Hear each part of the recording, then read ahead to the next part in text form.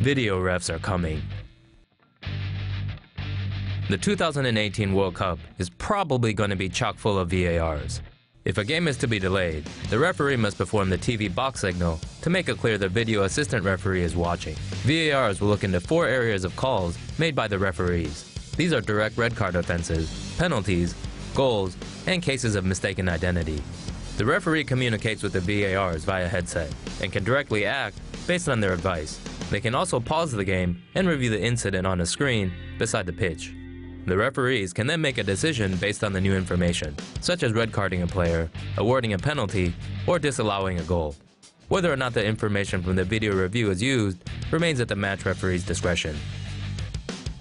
The tech has been shown to be accurate, but it can delay a game by several minutes, which fans and players love. Meaning, even with better science, refs still can't catch a break. Stick around for more sports stories. Not so smart after all.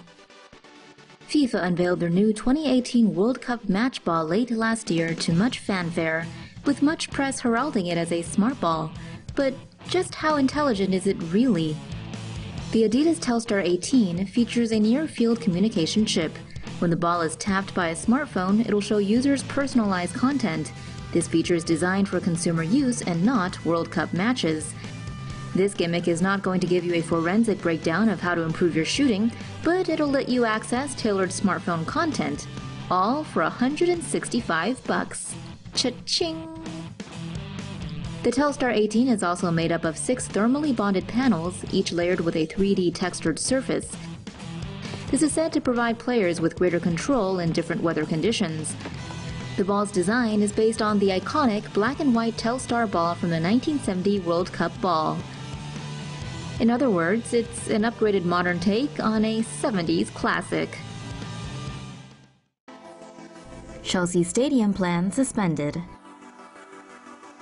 A family cottage has halted development on a new stadium in an upmarket area of London.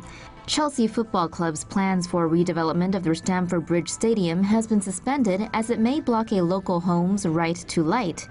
As the name suggests, that's a right for English landowners to receive light on their property. The concerned household believes the new stadium could affect sunlight and daylight.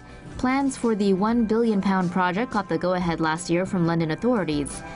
Officials will reportedly meet on Monday to discuss how to proceed. The new stadium would reportedly be capable of hosting 60,000 fans. Flexible NFL helmet designed to reduce concussions.